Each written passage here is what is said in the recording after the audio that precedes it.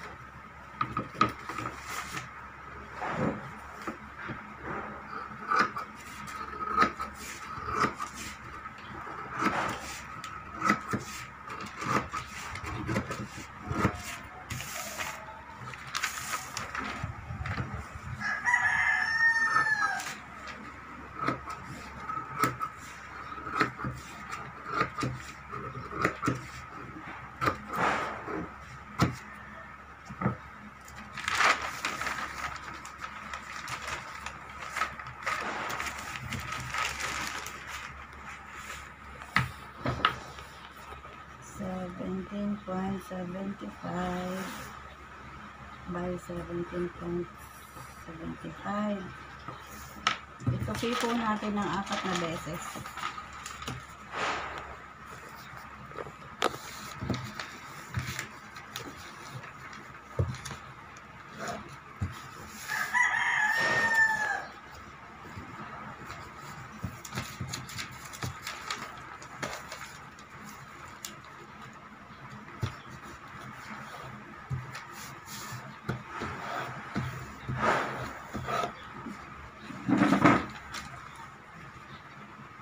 Tapos,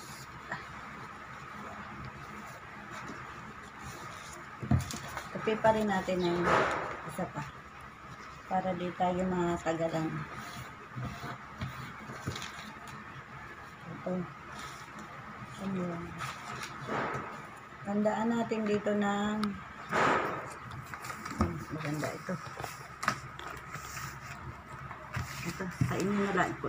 Sa inyo ko ihaharap. 5.5 dyan.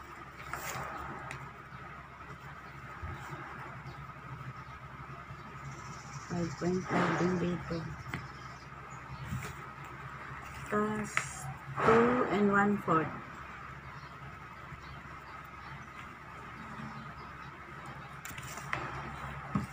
Dito, 3 and 3 8. Ito na, okay na ito. 5.5 3 and 3 8 and 3.38 2 and 1 4 2.25 plus dito 5 and 7 8 2 and 1 fourth din dito. Ayan. I-connect muna natin yung 2 and 1 fourth. Yung 2 and 1 fourth. 2.25 connect din natin ito. Tapos dito 3 and 3 8 3 and 3 8 dito. 3.75 3.75 3 and 3 8 dito. And 3 and 3 8 bali ilang kopi na ito. Walo i-connect mo ito dito saka dito Hmm, ilan ilan na ito One, two. One, two. Oh. One, two. I-xerox po natin lahat ng tanda. Sa lahat ng tupi niya. I-xerox. Xerox dyan. Hanggang doon sa iba pa. Para pare-pareha sila ng sukat.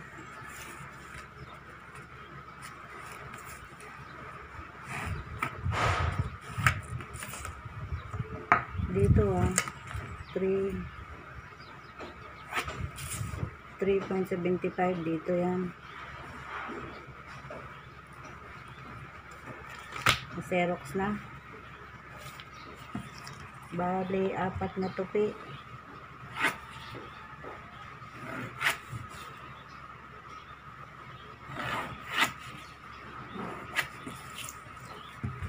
Walong ano eh, walong walong beses ah, ano na, kanto. Lahat po lagyan nyo ng tanda hanggang ilalim niya. Natin natin yung mga tanda. Walang tanda.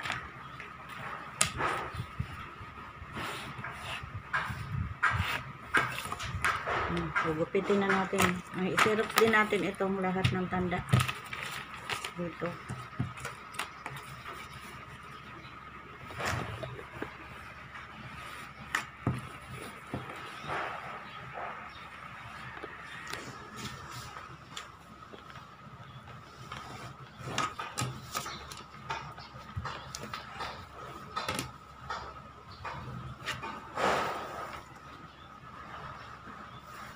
Yan po. Yan. Hmm. Apat na tupi. 1, 2, 3, 4. Dupitin na natin. Ay, dupitin na natin. Hmm. Tapos, ang pag-divide ng 22 inches, 22 inches yung head circumference niya. Mhm.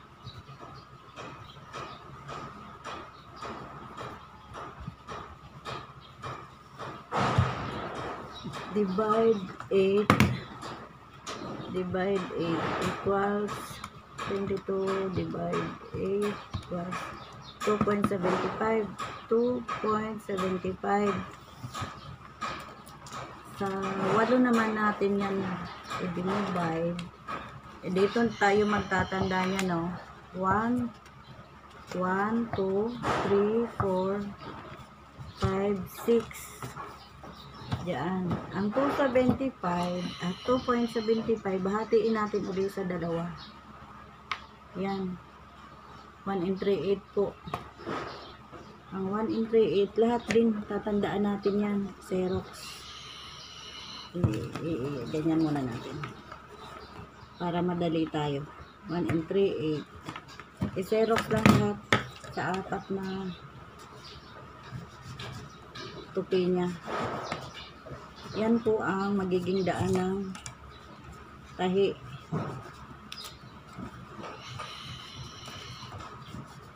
Yan. Tapos, teka ha. Igaganyan natin yan dito. Dito, papunta dito sa 1, 2. Sa ganyan. Yan. Diyan tayo magpapadaan ng tahi. Yan. I-xerox nyo rin po yan sa lahat. Sa apat na tupi niya. Yan.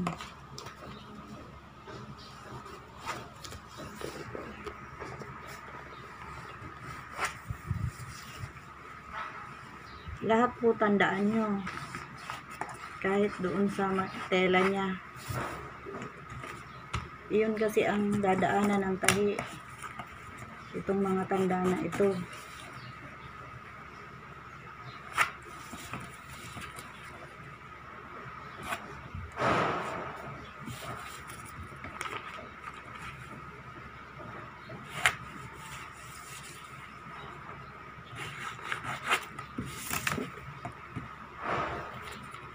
Na. Okay na. Tandaan din natin ito. Lahat po, i-xerox niyo po lahat ng tanda. Balitin natin yung ano. Hmm. Ito.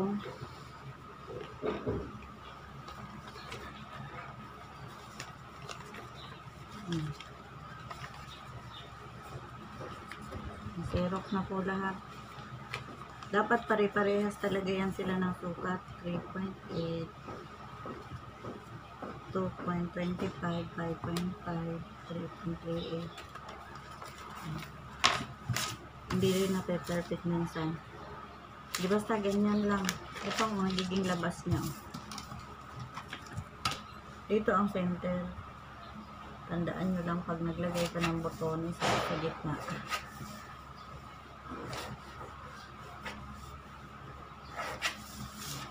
Kahit nyo na po ito gayahin ba? Pero ano, yun lang ang tandaan nyo yung kalahati. Pero mas maganda mayroong lahat tanda. Oh,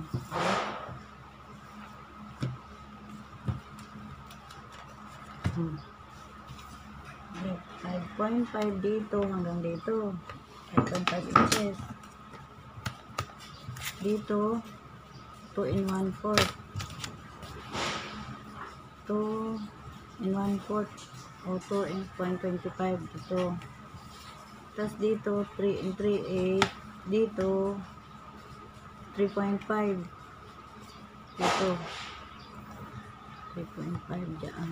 3 in 3 8 dito. Doon. Tapos, inanda ko na rin po yung tela ko. Ito po yung para di na matagalan, matagal magkating nito.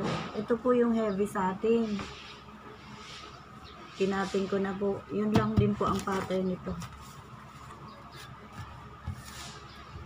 Ito po ang velvet. Ito po ang magiging labas. Ito po yung magiging loob. Fiber fill.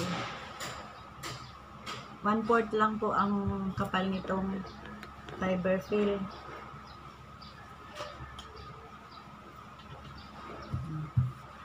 Ganyan yan lahat kalaki. Hmm.